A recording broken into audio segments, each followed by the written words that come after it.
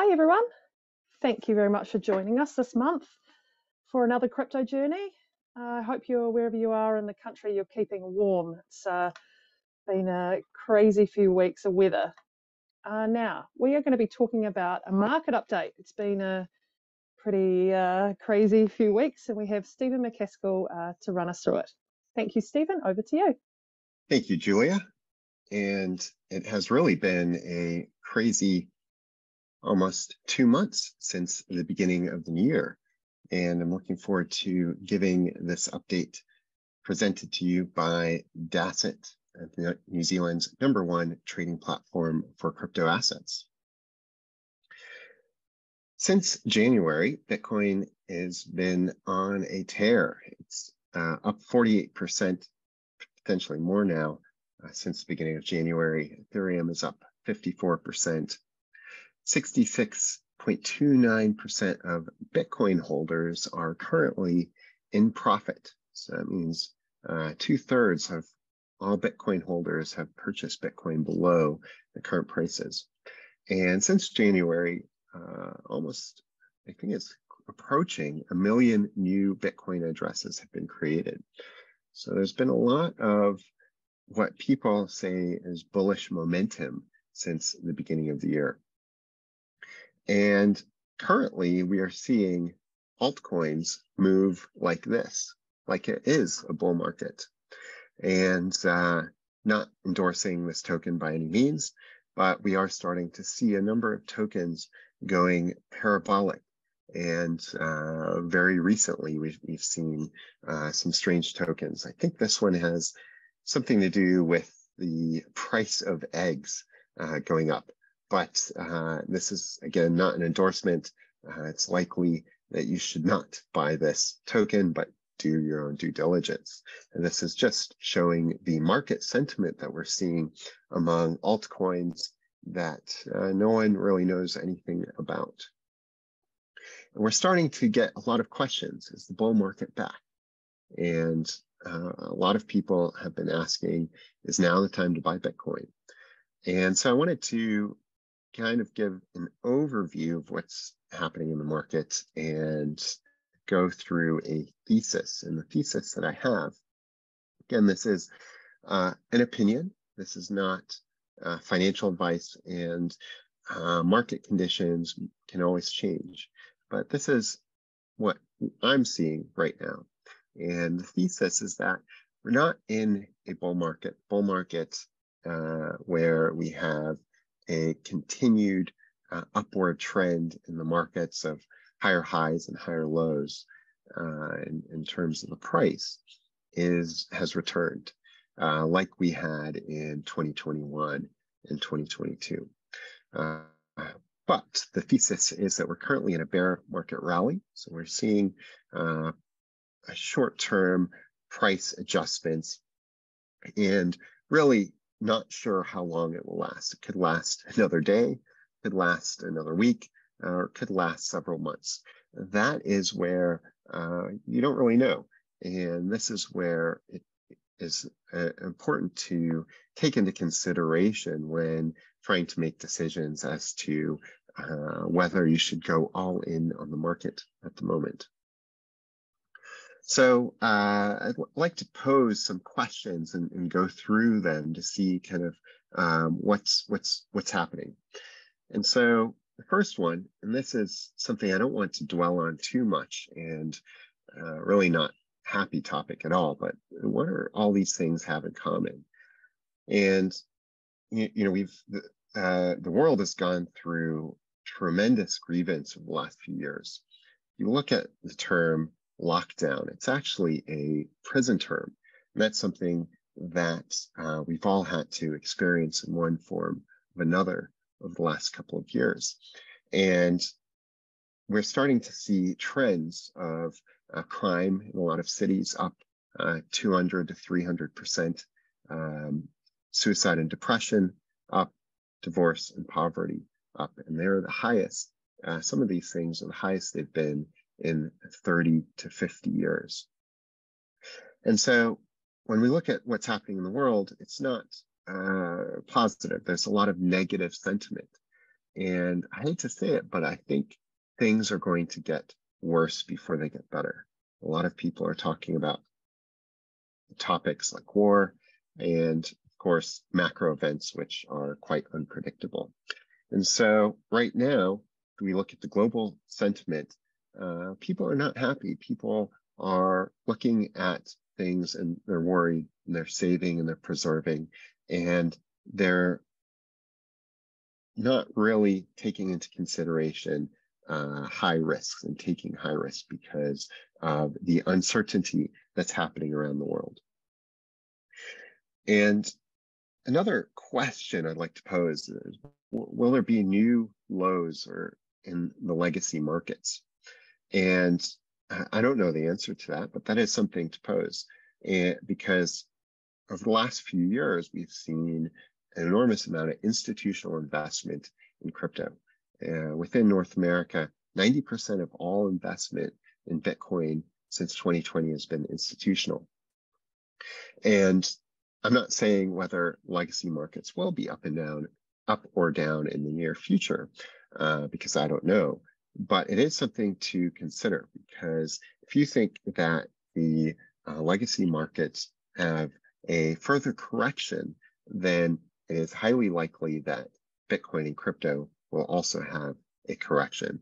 And if we have a capitulation in the legacy markets like we did during the pandemic in March 2020, then it is very likely that will happen in crypto as well.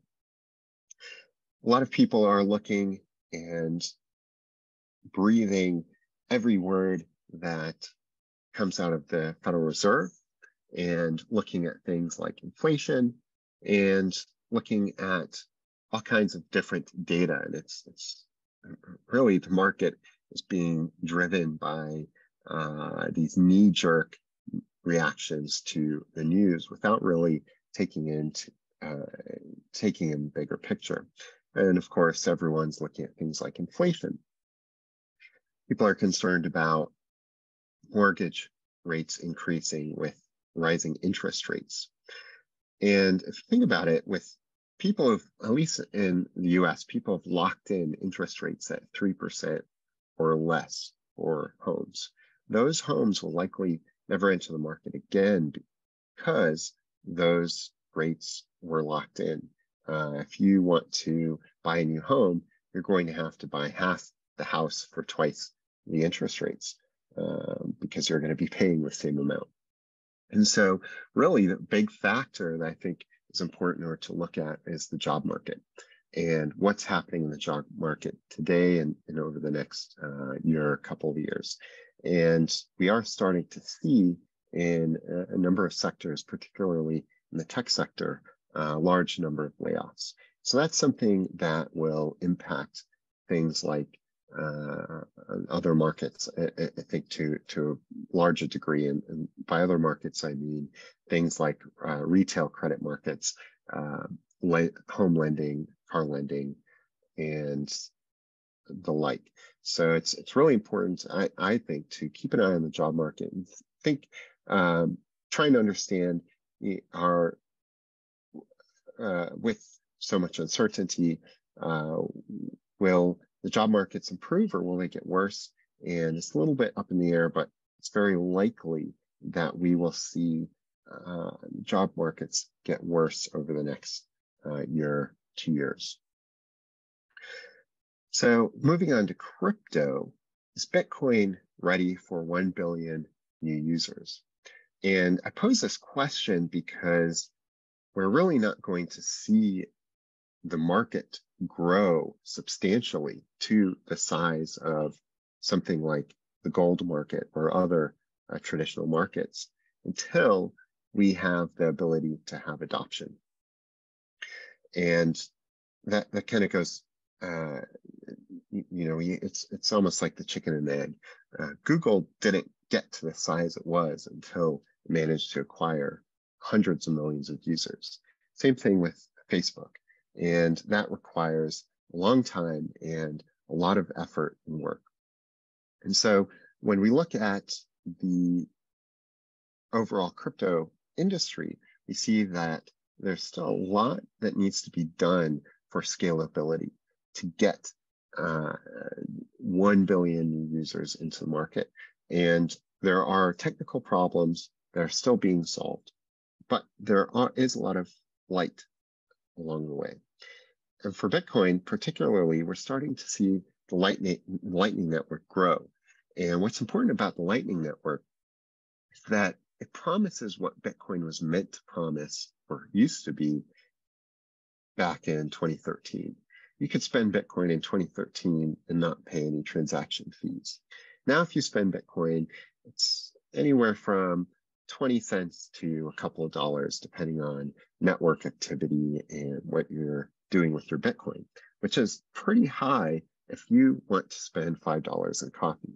And it's even higher if you are in a cash based economy like uh, uh, the Philippines, for example. And so when we look at the Lightning Network, we see that it's growing, but it's really not where we want it to be for mass adoption.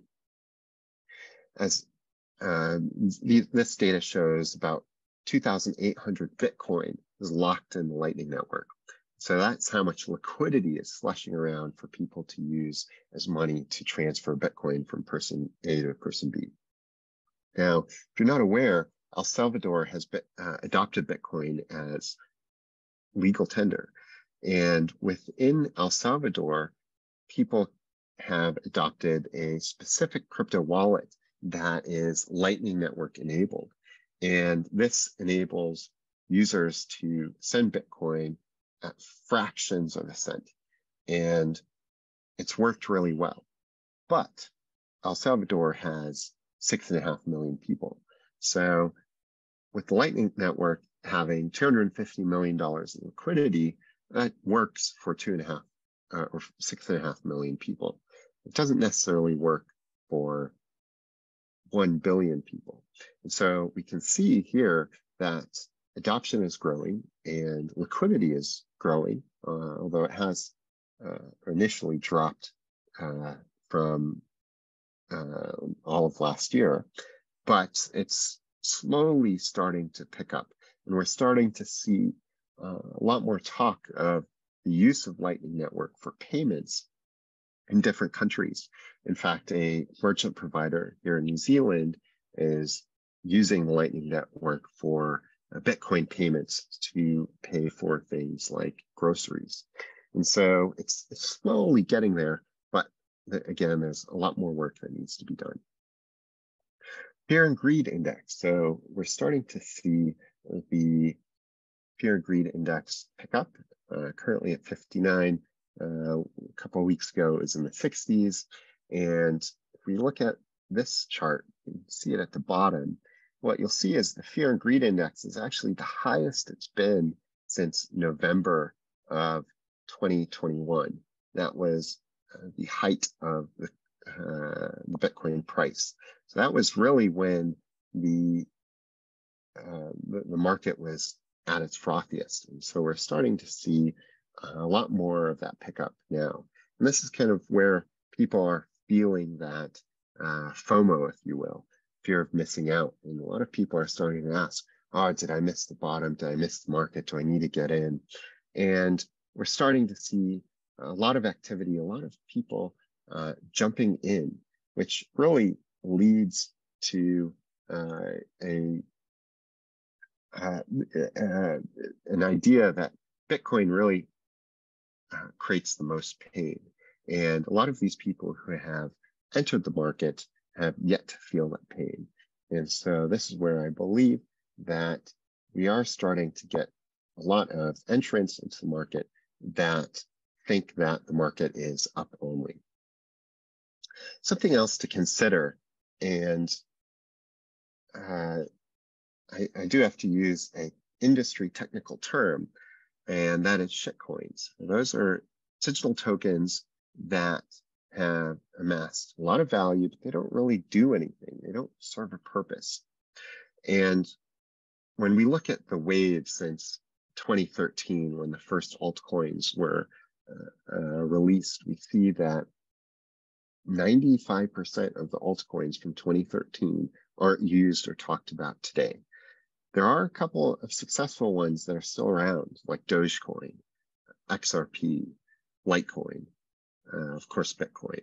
But most of them, uh, Feathercoin, Peercoin, Primecoin, a lot of these ones from 2013, probably never heard of, and uh, Namecoin, Factom, a lot out there that uh, will likely never recover. We saw the same thing in 2017, where 95% of the tokens that were created in 2017 never came back to their former glory. And they've just had a long downward death spiral since. Well, we're kind of at a point where there's still a lot of tokens that were created in 2020 uh, or 2021, 2022, they're still floating around. There's still a lot of liquidity in these altcoins, and they really haven't had their um, uh, been sent to the graveyard yet. And so that's something that uh, is, for me, a concern that we haven't really seen the end of the bear market because there are a lot of altcoins out there that really have no value and they're uh, still thriving. However, we are starting to see Bitcoin dominance increase. And this is a really important indicator for me because this uh, signals that people are returning back to the basics. So, and with Bitcoin's dominance increasing with this recent price move, this is where I also believe that we will likely have a retest of the lows and potentially a capitulation event in the near future where that Bitcoin dominance continues to increase and the altcoins that really have no use or no value will be sent to the graveyard. So I think that's what we're kind of preparing for right now, where there's opportunity for market makers to have exit liquidity this is something also I find very interesting. This is the Chicago Mercantile Exchange. And what you'll see is that they have to publicly provide the data. And this data is, to me, very valuable because it shows what institutions are doing.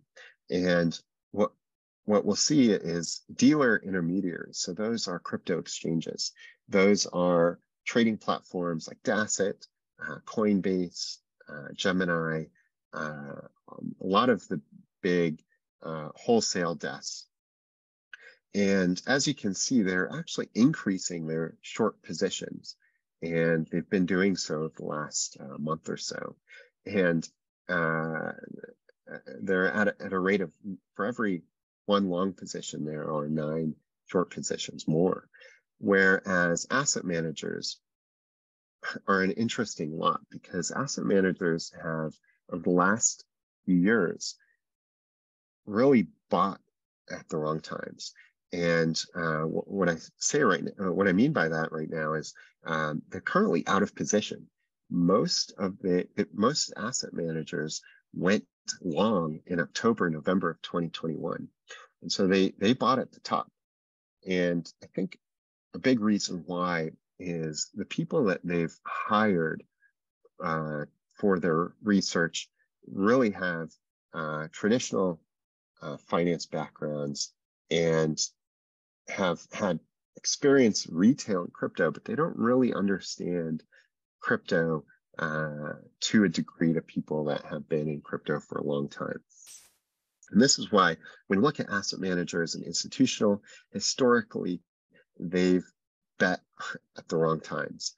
And so, uh, again, this is just one piece of data, but the data shows that uh, currently crypto exchanges have increased their short positions and have been increasing their short positions recently, while asset managers, which are institutional, have uh, which have historically invested at the wrong times, are increasing the long positions. So that's something to keep an eye on.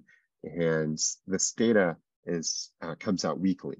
So great, um, piece of data to, to keep an eye on. And usually when, and, and uh, crypto exchanges usually get all the data from their customers. They can, uh, they have a, a much greater visibility in terms of what's happening in the market.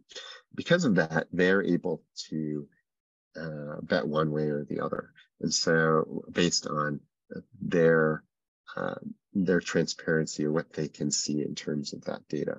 And they definitely uh, put in orders. And uh, so that's currently what we're seeing them doing.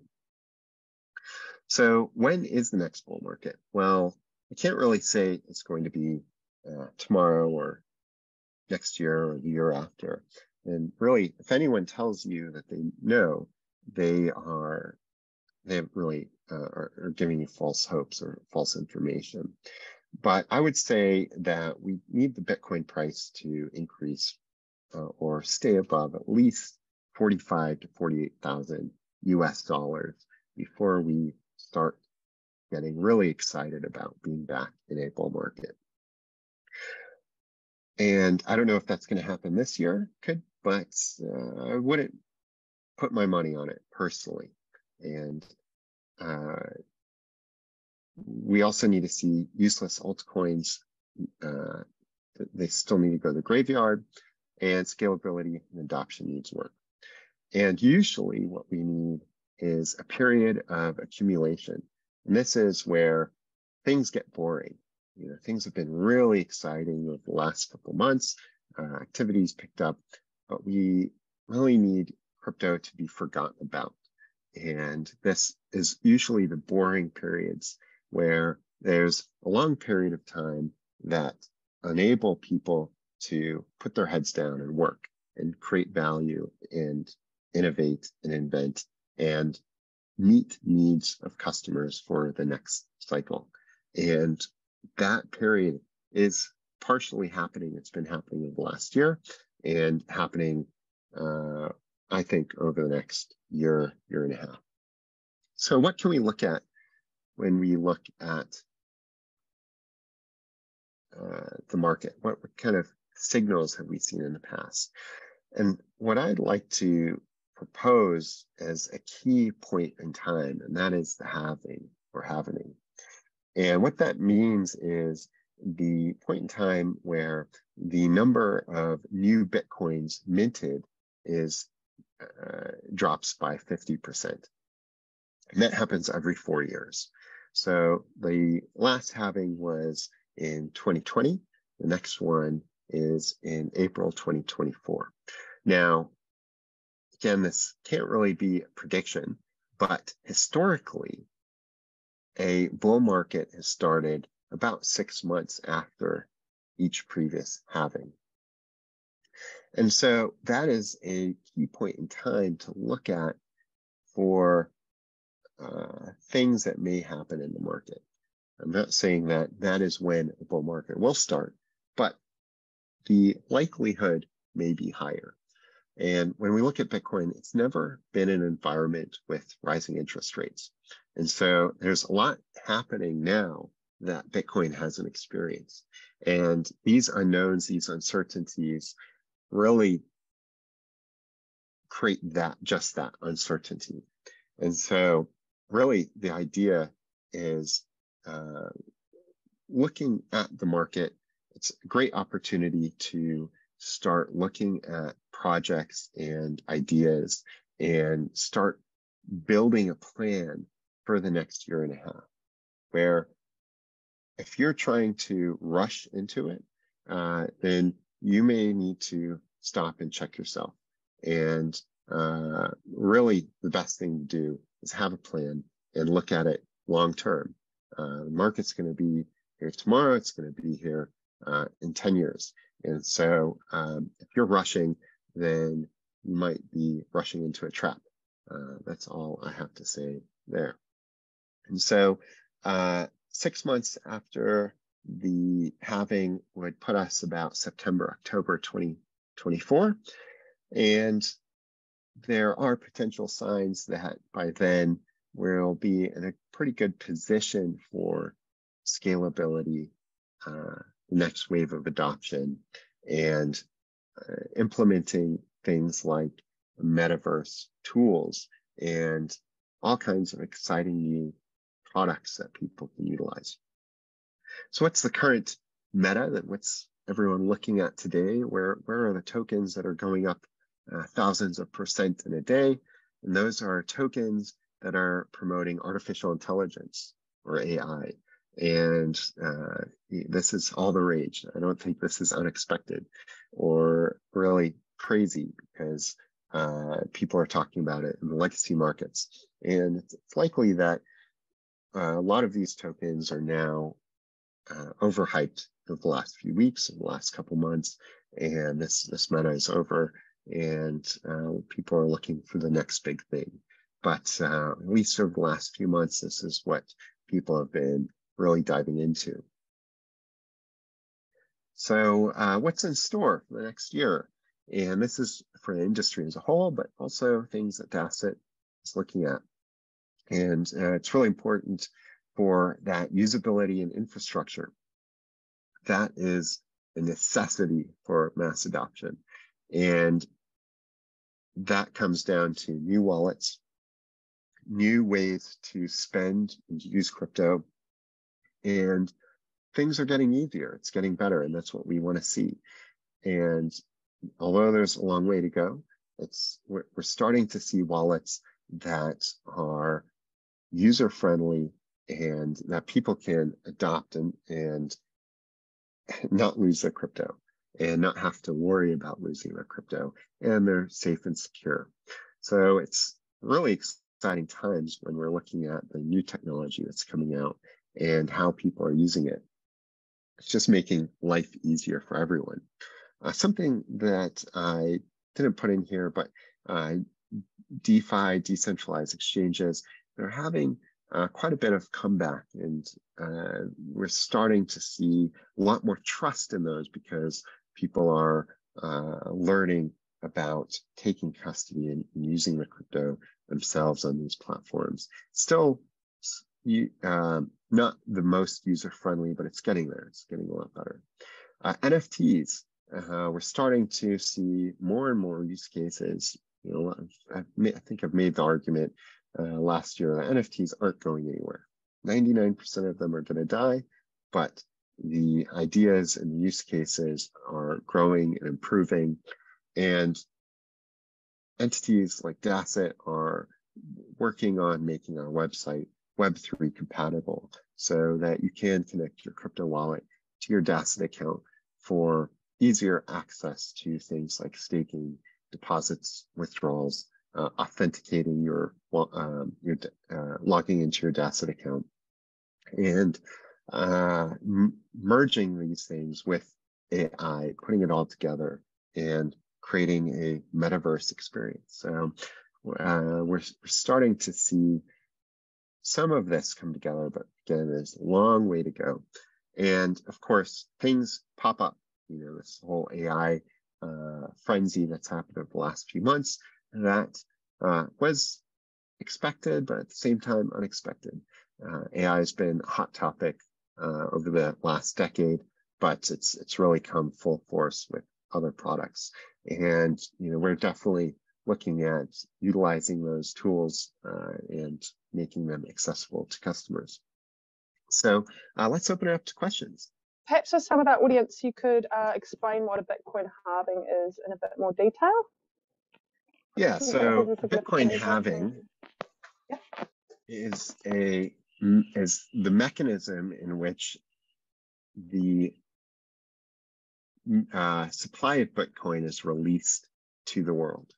And it started in uh, 2009 with the first Bitcoin in, uh, I think, 9 January 2009. And every 10 minutes, you could mine 50 Bitcoins and you could use a laptop to mine those Bitcoins. And this, so uh, if I had a laptop, I started mining Bitcoin, I could mine 10,000 Bitcoin in 2009 and uh, in a few days or a few weeks. And so there were a lot of people who were able to, to do that. And as more people added computers to the network, it became harder and harder to mine those Bitcoin and required more and more computing power. But the mechanism so that there was a, an infinite amount of Bitcoin created is that every four years, the number of newly minted Bitcoin would drop by 50%. So in uh, so first four years, 50 Bitcoin was new, 50 new Bitcoin was issued every 10 minutes. Four years later in 2013, uh, uh, 25 Bitcoin was issued every 10 minutes, and that was halved to 12 and a half. Now it's 6.25. And so that has an impact on the inflation rate of Bitcoin, where because newly minted Bitcoin is being issued, there is an inflation rate. Uh, you know, inflation is an increase in the money supply. And so if you do believe that Bitcoin has that potential to be uh, that form of money, uh, new form of money, uh, a better uh, technology for money, then we, we can't have an infinite amount. One of its values is it being scarce. And Satoshi Nakamoto modeled the issuance of Bitcoin after the, uh, the, the supply of gold. And so while the inflation rate was six, seven percent a few years ago, now I believe it's dropped under 1%, where 19 of the 21 million Bitcoin have been mined. So then we've seen a, a vast majority of the Bitcoin has been mined, and that continues to decline until the year 2140, where almost all the Bitcoin will be mined. Right now, a halving is a supply shock. So if there's 6.25 newly minted Bitcoin being created every 10 minutes, that gets uh, sold onto the market because miners have to pay for electricity, they have to pay the bills. And so that is supply pressure uh, being put into the market and is put onto the market daily. And uh, uh I guess, I don't know what the math is, but uh, 6.25 times uh, $24,000 per Bitcoin uh, times uh, uh, the number of Bitcoin mined in a day, it's millions and millions of dollars. Well, when the supply is halved, that means there's less new Bitcoin entering the market, which creates a supply shock. And it takes uh, some months after the halving for that supply shock to be felt by the market. But that's usually what we've seen where it takes a little bit of time for the market to absorb uh, those new Bitcoin. And when there's less of those Bitcoin, but demand starts increasing, then we're starting to see uh, that. Why does the increase in computing make mining slower? The amount of new Bitcoin is issued on average every 10 minutes. And so it's an average. So sometimes it's uh, is a few minutes. Uh, sometimes it's um, 20, 40 minutes or more. But on average, over a long enough period of time, it's the it's it's about 10 minutes. And when more people add computational power to mine Bitcoin, the network adjusts the difficulty to uh, solve that problem so it stays an average of 10 minutes. So as an example, and, and so uh, I guess going back, what, what happens is the Bitcoin network selects a magic number. And nobody knows what the magic number is, but computers need to guess what it is. And so computers start guessing this magic number. And once one of them finds it, they put up their hand and they say, here's the magic number. And the uh, the uh, network says, yep, that's the magic number. And the, person, the computer that, that found it gets the reward of Bitcoin. So when, and, and it takes about an average of 10 minutes to find this magic number. So if you think about it, where the number of computers or uh, computational power to find this magic number doubles, then the it's going to take uh, a lot more, uh, it's going to be a lot faster to find this magic number. And so what the network does is makes it more difficult to find that magic number. So it's always an average of 10 minutes. So the more computers that are power or computational resources used to find this magic number, that means that it's fast, it's uh, that magic number can be found faster. So what the network does is makes the math problems more difficult to uh, so that it stays an average of 10 minutes. So the so uh, then mining can get slower if a large amount of computers get taken off the network. So say that there's a certain amount of hash rate securing the Bitcoin network and China puts a ban on mining Bitcoin. That takes out 30% of the computers securing the network. Well, if that's the case, where it happens very quickly, then the, it will take a lot longer, will be a lot slower because the computational power isn't there to uh, to, to get uh, that magic number found every 10 minutes. And so what has to happen is the network has to readjust by making the lowering the difficulty because there's less computational power then the difficulty of finding the half or the magic number uh, becomes lower. And so uh, it can be very disruptional for the network where it takes a very long time to process a transaction on the Bitcoin network when a large amount of computational power is taken away. And it requires an adjustment by the network, which happens every, uh, I think every 2000 blocks, every uh, certain number of uh, Bitcoin block confirmations, there is a, a network adjustment to the difficulty. Uh, hi, Jeremy. Thank you for your question. Uh, what call uh, can you what can you tell us about ordinals? Is what Jeremy would like to know. Thank you for joining. I would say that so, so, ordinals have interesting implications on, on all kinds of different markets. And it is something that we see in, uh, in, in, the Bitcoin market uh, when we look at how prices move. And so I would say that there uh, is is an impact in both the uh, in, in the way that, that the Bitcoin price moves and follows uh, follows them pretty um, pretty closely.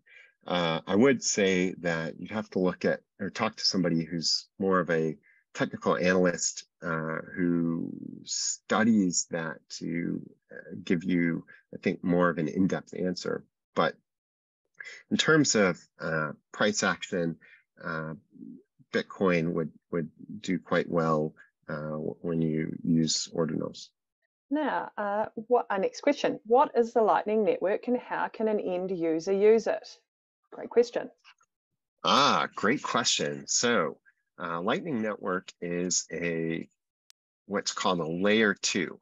So, what that means is it uses the Bitcoin network, but it is a, it's its own network that enables transactions to move at a much lower uh, fee and a lot faster. And how it works is uh, it requires a user to so so they're different users uh, just like the bitcoin network you have users like uh, node operators miners uh, end users uh, like you and me, exchanges, they all have different roles within the network. In the Lightning Network, it's the same way where they're different uh, users and they have different roles.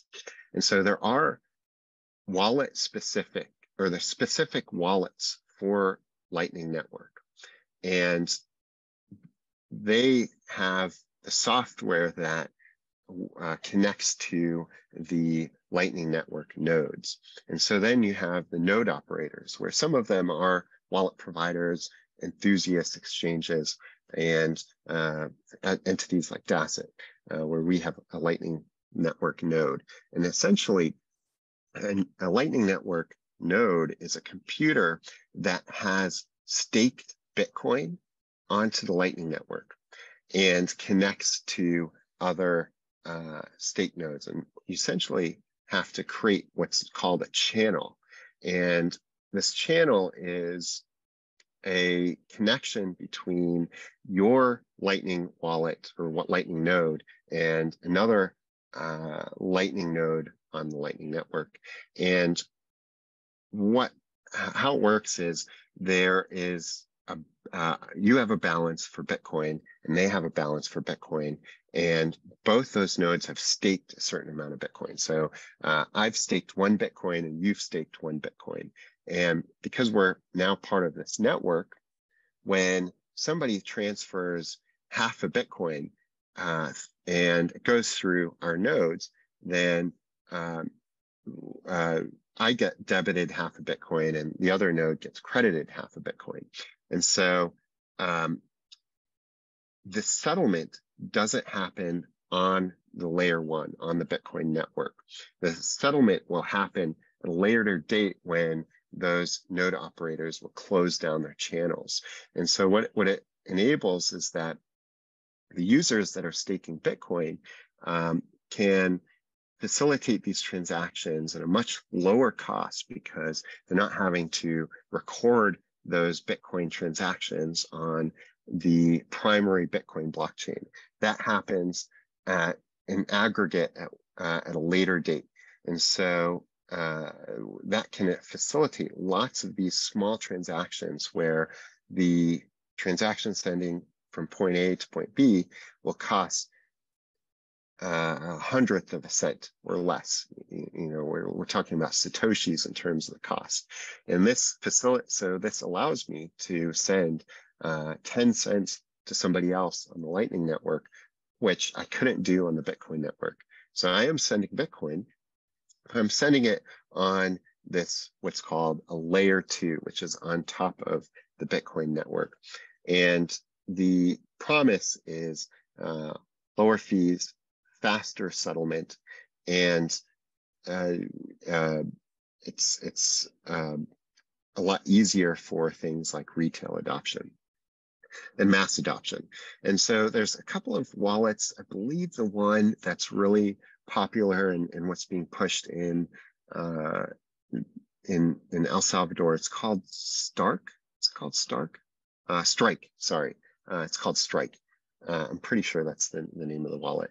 And so that's uh, one uh, Lightning Network wallet, but there are a few out there. And what it does is connects you to that network so that you can easily uh, send Bitcoin via the Lightning Network. And so you do have when if you do have Bitcoin, you do have Bitcoin in a wallet, you do need to convert that Bitcoin into Bitcoin on the Lightning Network. Most of these apps will facilitate that for you, but there, there are different ways of doing it. And it has been complicated in the past and it's getting easier and easier. Uh, so Don would like to know, he's been listening, but please could you summarize your outlook for Bitcoin, including variables such as the demise of shitcoins?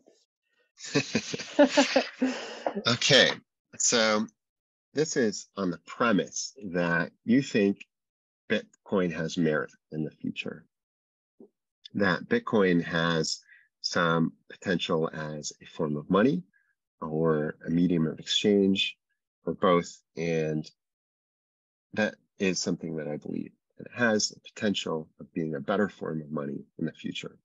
Most people don't believe that or don't understand that, and that's okay. Uh, some people think, oh, well, the technology behind Bitcoin is promising, but Bitcoin itself is a dinosaur, won't be in the future. And so, based on that thesis, I think Bitcoin will do very well in the future and will continue its long-term adoption cycle. But my thesis is that today we are not returning to a bull market anytime soon. And uh, a lot of people are asking, are we in a bull market? Has bull market returned? And usually that is a signal in itself that we are likely not in a bull market. And uh, my thesis is that we're currently in a bear market rally, uh, but you know, this isn't set in stone, could be wrong. Uh, you, you, know, I, I, I'm not promising or guaranteeing anything. Things could change at a moment's notice. But I do believe, based on looking at the data and the outlook, that it's very likely we will have a retest of the lows of Bitcoin that we had at the end of last year at some point. And right now we're getting to a point where everyone's getting uh, very bullish and overhyped again.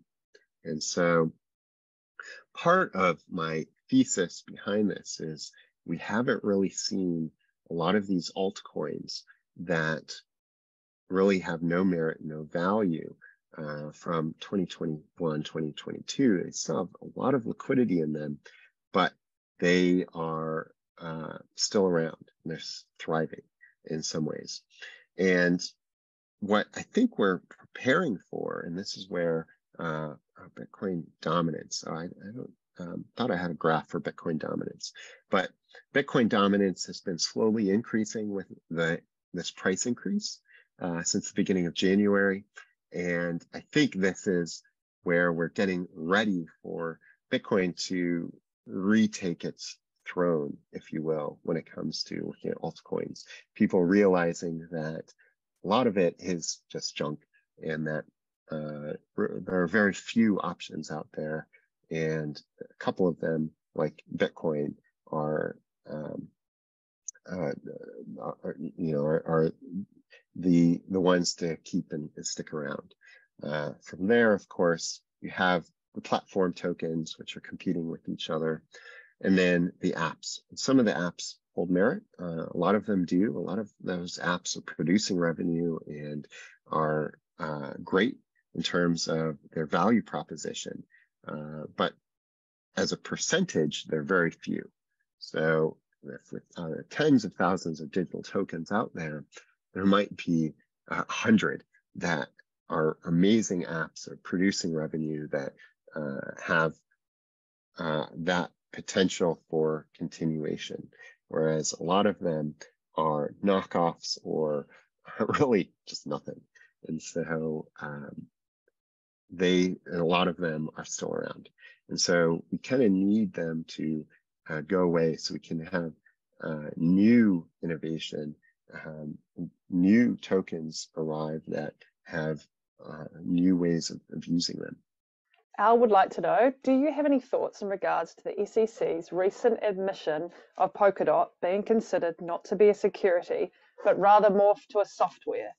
Are we about to see a wave of further classifications for the likes of Ethereum, etc.? Mm, yeah, so great question. And this is something that is, is definitely something to keep an eye on, and that is regulatory risk. We've started to see a crackdown on crypto indus- on the crypto industry by the banks, and this is happening around the world.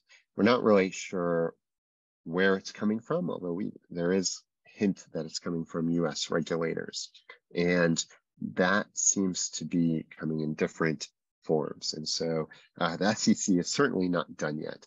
And we're starting, we're seeing dissent within the SEC, which is great. There are people in the SEC that are disagreeing with kind of the mainstream view that's that's happening right now, where everything that's not Bitcoin is a security, and that's kind of what we want to see. But uh, I think the SEC is trying to work it out themselves, trying to work out what their role is. And there's potential for some good things coming out of the SEC.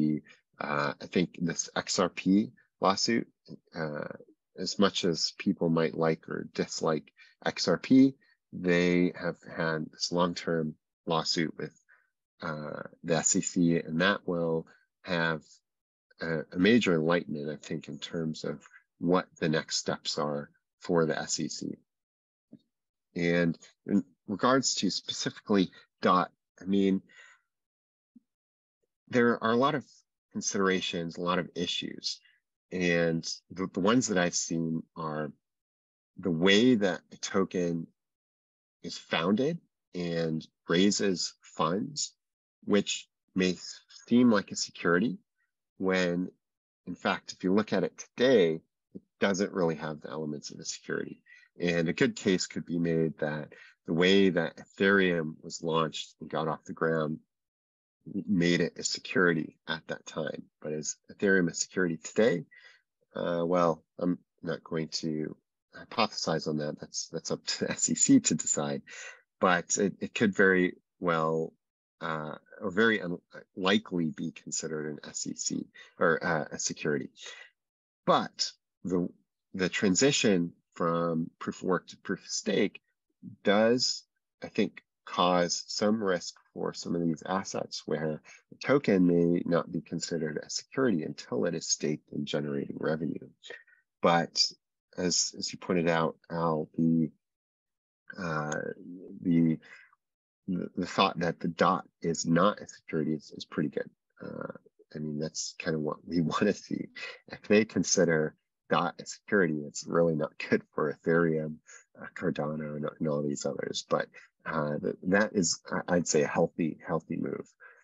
Um, looking at how crypto exchanges, uh, you know, and staking is security, I don't know. I think they're definitely uh, going the wrong path there. But you know, you have two steps forward, one step back, and there is that is kind of a spanner in the in the works where uh, who knows which direction these regulators can go in. You don't really want to rely on one regulator, one country to really dictate how the rest of the markets in what direction it's going to go in.